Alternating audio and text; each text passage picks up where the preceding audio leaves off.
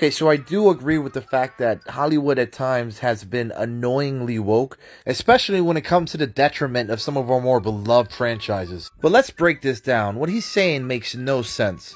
Okay, the majority of the bad guys in this Batman movie were white. Okay, fair enough. Now do me a favor and name for me another Batman movie where all of the corrupt criminals were not white. I'll wait. Tim Burton's movie? White, white, white, white, white, white. White, white, white, white, and white. Joel Schumacher's shitty movies?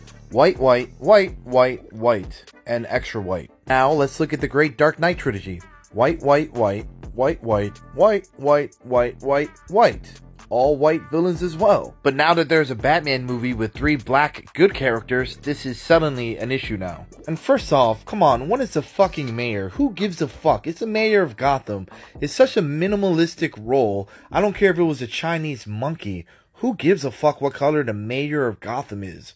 Secondly, Catwoman has traditionally always varied between a white and a black actress. And Jeffrey Wright is a phenomenal actor who, in my opinion, fits the bill perfectly for an inner city police commissioner. Listen, I and I think a lot of people don't go into movies counting the number of black versus white people versus Asian people. Who gives a fuck? All that should matter, and I think does matter to most people, is that the movie was well executed, that the performances were done well. And I'll end with this. At the end of the day, these are fucking fictional characters. They're not real. Who gives a fuck what color they are? They're not real people. And if you care that Luke Skywalker is a black person, ask yourself why you care.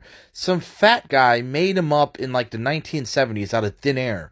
He, who gives a fuck?